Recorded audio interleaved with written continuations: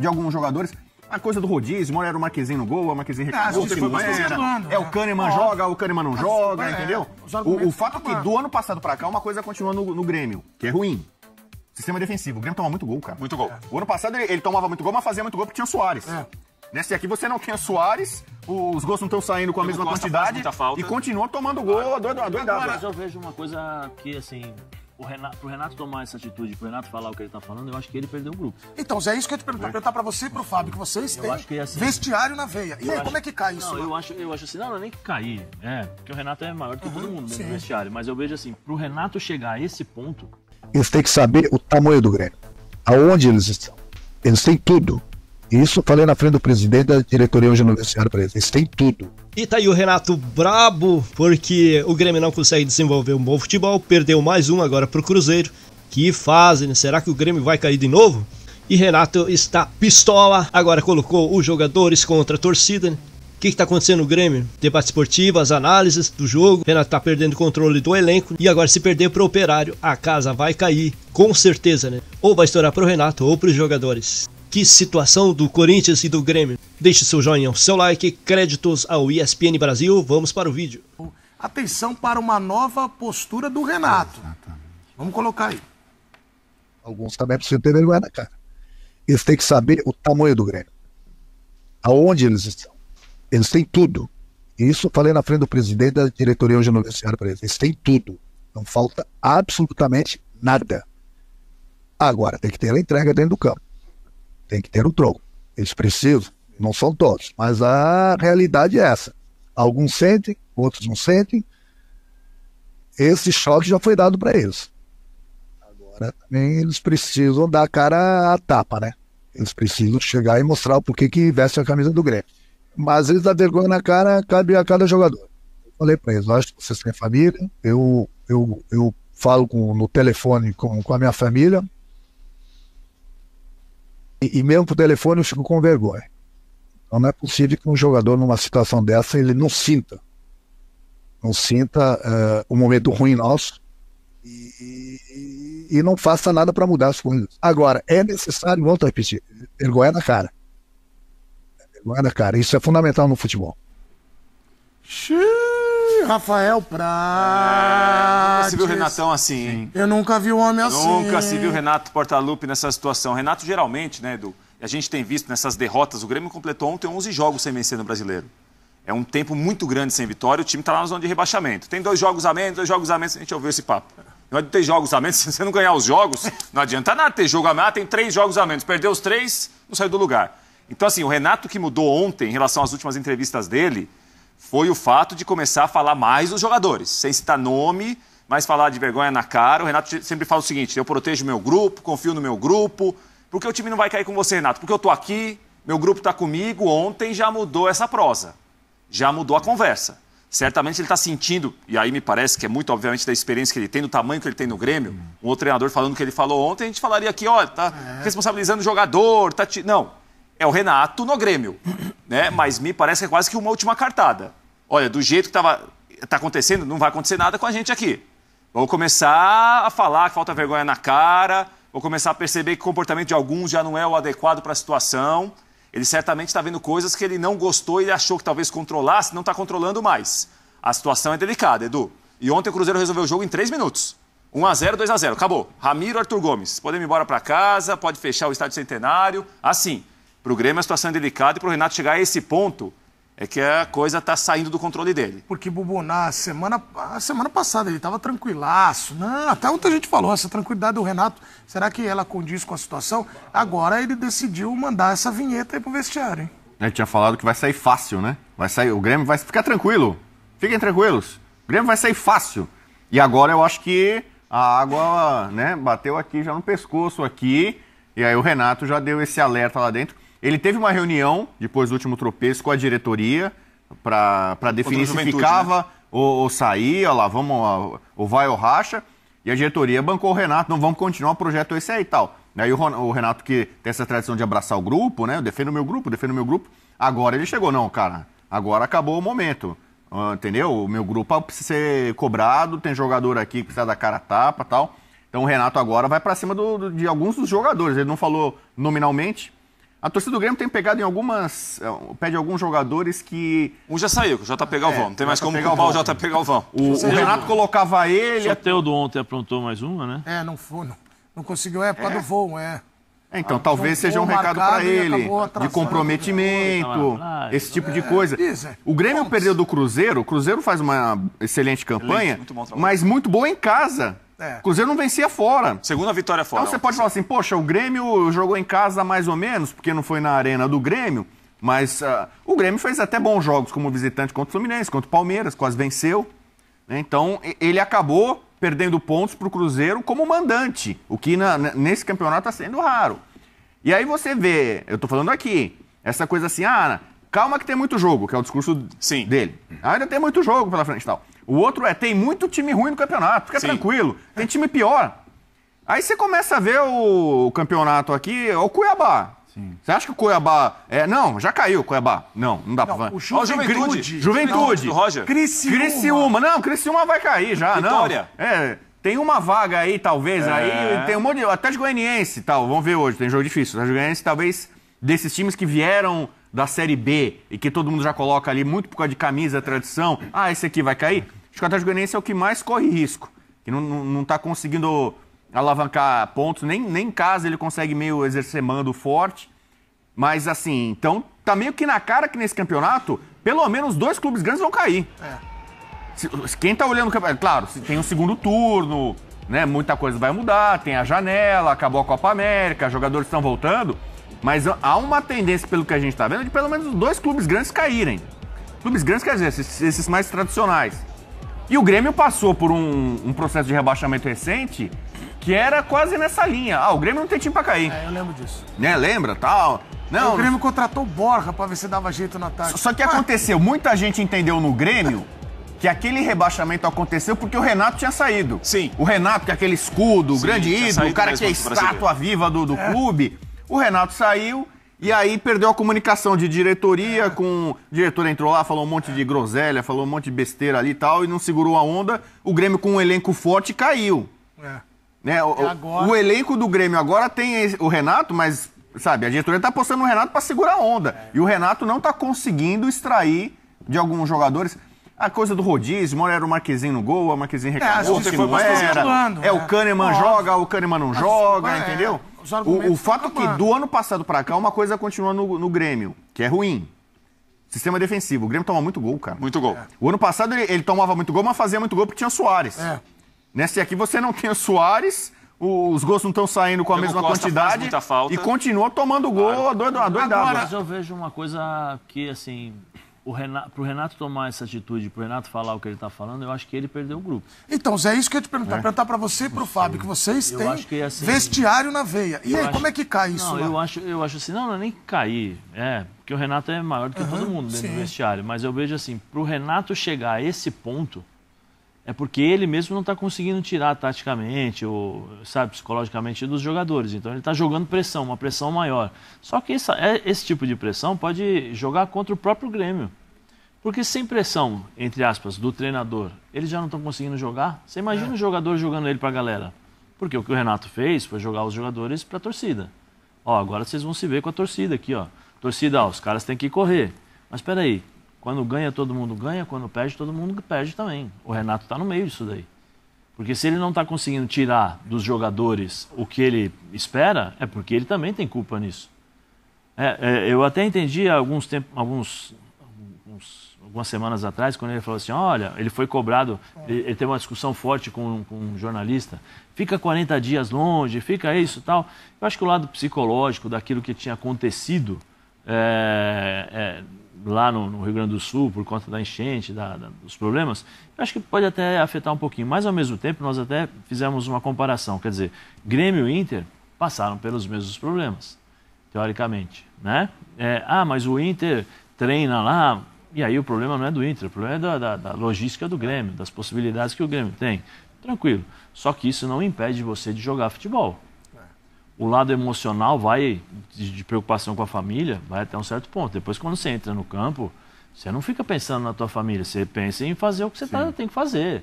Ou o centroavante tem que fazer gol, o ponta tem que ir na linha de fundo e cruzar, ou num contra um e tentar bater cruzado, criar situações, o meio campo também, cabe ao treinador. É, então, assim, eu acho que nesse ponto, no meu modo de ver, na, na forma eu, como eu entendo, assim, em relação a, a postura e, e, a forma como o Renato sempre trabalhou, Sim.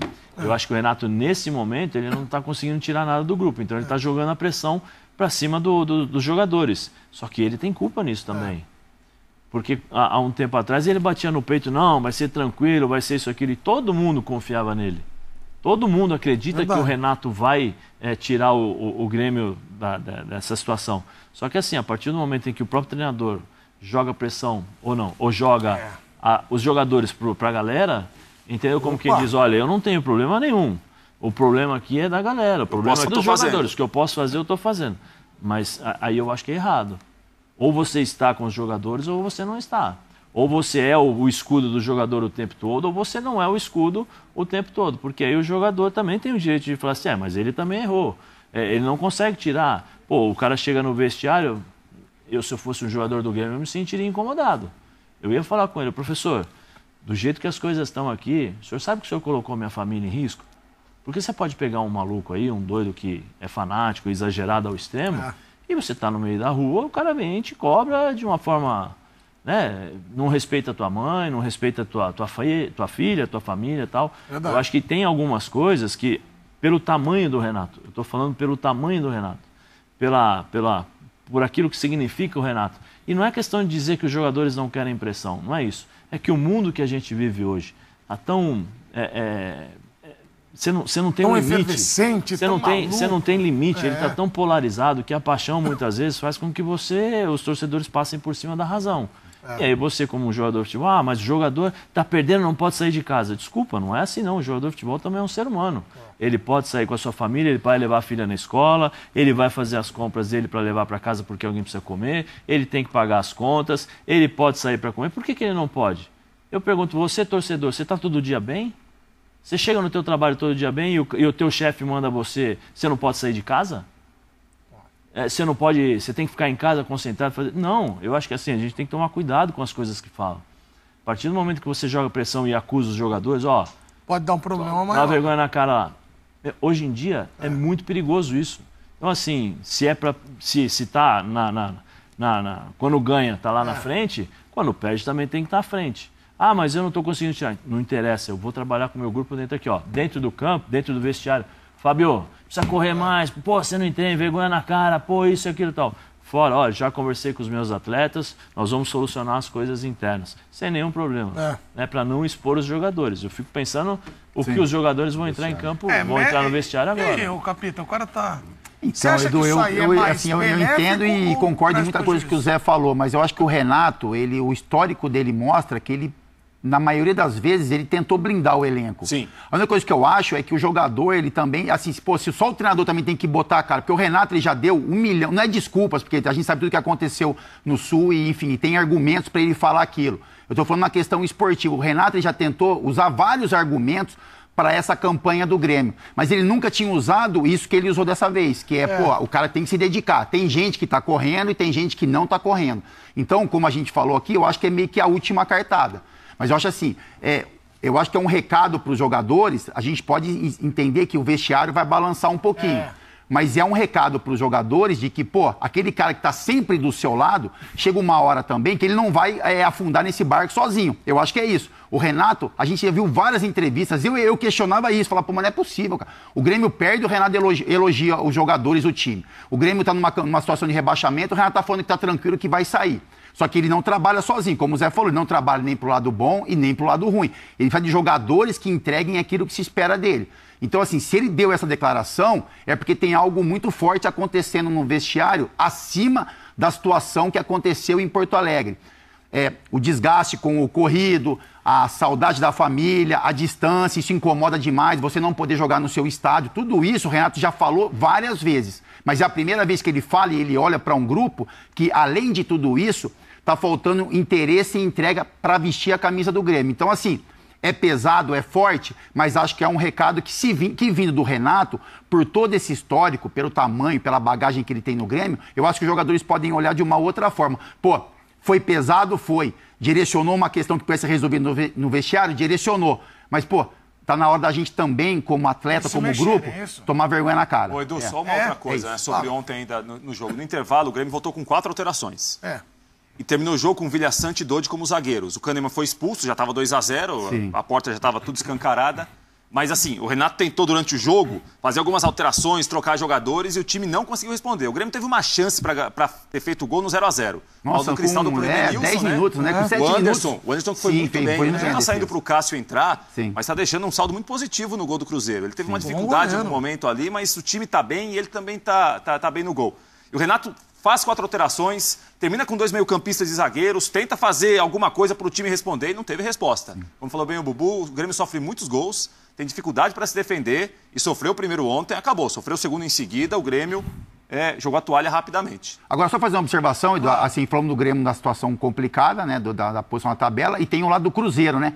Assim, dar os parabéns pro trabalho do Seabra. Muito bom, Porque, assim, o, o Cruzeiro... Muito bom. O Cruzeiro, é um, é um, o Cruzeiro é um time que tem um jogador diferente, que é o Matheus Pereira, né? O resto dos jogadores, o resto, o restante... Também estou feliz. É, é isso, ele também tá feliz, ele também tá feliz. É. Ah, hoje tá tá. gostando. tá. A família, a família tá feliz, a família. A família tá feliz. Tá feliz, é. Mas eu Ai, acho que a gente ai, tem que fazer, fazer essa ressalva, porque é um time que coletivamente é muito bom. Time é muito bem Para um jovem treinador, assim. Então, se a gente Muito falou um pouco do É treinador da- do, do Vasco, do Rafael, a gente também tem que fazer essa ressalva pro Seabra, porque é um time que tem uma intensidade de jogo diferente, que recompõe muito rápido, que tem velocidade na saída. Isso é trabalho no dia a dia. E que conta com um jogador diferente, que é o Matheus. Agora, o Cruzeiro contratou demais. Sete jogadores. Então o joga- a gente olha e fala, pô, agora o Cruzeiro vai ficar quase que imbatível. Se manter essa intensidade. vai bem. Porque assim, você exigir de uma molecada, de uns caras que não tem tanto nome no futebol, é mais fácil. Porque os caras querem mostrar, querem entregar, querem aparecer pro Brasil. Quando você contrata jogadores um pouco mais consagrados, é difícil você pedir essa intensidade. rodados. Então eu acho que essas contratações do Cruzeiro, elas vão passar muito nessa questão de você ganhar em qualidade, né? Que os jogadores estão chegando, tem bastante, tem muita qualidade, mas pedir e entregar essa intensidade que o Cruzeiro entrega hoje. Queria Legal, falar duas isso. coisas do Grêmio. Claro, fala. Uma é uma observação que eu fiz, muito particular. Opa, Eu acho bem é legal. interessante. Mas redes? coração. Você. Não, Não, as redes. Não, conjunto. não, não, não. Seja Conjunto. sincero pro fã de conjunto. esporte lá. Não, tem uma das redes que é fácil, que é. Teve lei do ex também, né? O Ramiro, né? Ramiro. Ramiro. Ramiro, lei do ex, essa aí não é minha. Eu não fui eu que criei a lei é do universal. ex e tal. Universal. O meu seguinte. Vamos desviar um Você pouco. tem tempo de vida para ter criado essa lei do ex. É, Você tem tempo. é. Vamos desviar um pouco o foco do Grêmio e trazer pro São Paulo Futebol Clube. Isso as redes falaram, não, isso é você. Não, é, é uma pensata. Tá. É uma tá, reflexão. Tá correto. Ai, ai. Aí tá correto. É, Ferreirinha vive um bom momento no São Paulo, Jogou Sim, onde? certo? sim. Do Grêmio. Luciano vive um bom momento no São Paulo. Verdade. Rafinha, Foi rebaixado. capitão. No Grêmio. líder- É, mas tipo, no, Não, é que no Grêmio ele foi. tava mas que mostrou que rebaixado, ainda né? não estava velho, que ainda tinha lenha pra queimar. Sim. Né? Capitão.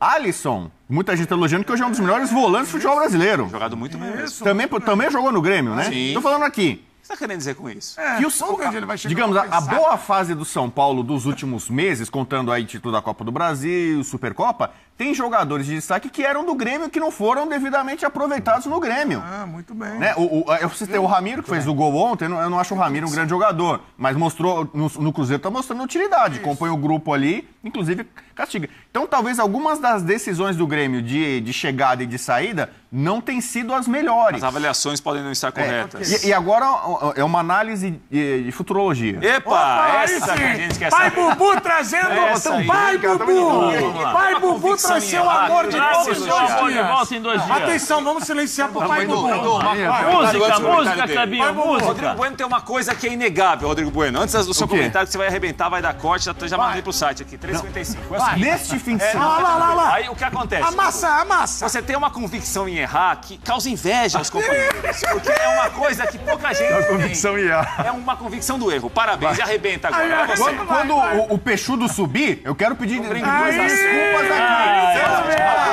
O Bubu avisou lá atrás que o Peixoto, Ah, quando o Flamengo for campeão brasileiro esse ano, eu quero que o capitão, não, o Bubu falou lá, o Tite, falou. A gente time vai do Tite. reconhecer. É o time do quando for campeão brasileiro, o capitão fala, poxa, o Bubu, elogiando. quando o Corinthians escapar do rebaixamento, quero ver o Zé falando, Então fala sua Bubu antecipou lá, ele falou, o é Corinthians não vai react do Prazo. No domingo, o Grêmio não joga no Campeonato Brasileiro. Verdade. Ele tem um jogo de volta na Copa do Brasil contra o Operário. 0x0 ainda. E se é eliminado, imagina se o Grêmio nessa fase aí que a gente não sabe como é que tá, grupo, não sei o quê, se o Grêmio, copeiro, brasileiro. tradicional copeiro, é eliminado pelo Operário. Tem que pensar no brasileiro, Bubu. Nessa situação. Não, você- então você acha que ele tem que eliminar Brasil, na a Copa do Brasil? Não, não, não é eliminar. Vai jogar pra se classificar tudo. Mas nesse momento o Grêmio tem que pensar no campeonato brasileiro, igual o Fluminense. O, o Renato, no Agora é o discurso dele, no negócio da face, ele falava assim: não sei porque estão criticando o Grêmio, porque o Grêmio ainda tem 90 minutos na Copa do Brasil Ah. pra decidir sua vida. É no domingo. É, é uma muleta que ele tinha. A outra é. ainda tem a Libertadores contra o Fluminense, é outra muleta. Se você já derruba uma muleta ali da Copa do Brasil Se ele domingo, pudesse pular esse jogo, e qual que é o jogo seguinte do Grêmio? Quem vai jogar esse jogo? Time titular? É, time se ele pudesse- O jogo seguinte, jogo não, ele, ele não pode. O Grêmio, como mandante, não pode ser eliminado pelo operário. Senão a a casa vai cair. A casa cai. Aí eu, ah, eu não sei o que acontece lá, se o Renato se sustenta e tal. Não E aí chega a- nem na liberta. contra E o próximo jogo, lá.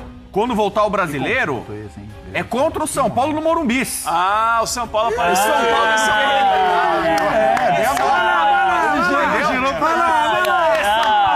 São Então, Paulo arrebentando. o. Grêmio, o Grêmio São tem Paulo uma é- decisão agora. E depois? Uma tá aqui, Copa é contra o. Operário, que E eu não sei o que vai acontecer. E depois São vai ter que Paulo, enfrentar Ferreirinha, Ah, Alisson, jogam por qual time? Rafinha. Joga- Não, tô falando dos caras que eram do Grêmio. defendem que eram- qual entendeu? time? Qual time que eles jogam? Quem? Esses jogadores citados. São Paulo. São Paulão é danado, apareceu de novo. Esse é, São Paulo é, não aperta, cara. Esse Eu não São Paulo sei, não. Daqui a forte. uma semana a É. gente pode estar aqui conversando. Olha o São Paulão lá, Que a situação do Ah, não Grêmio, olha. Ele não resiste.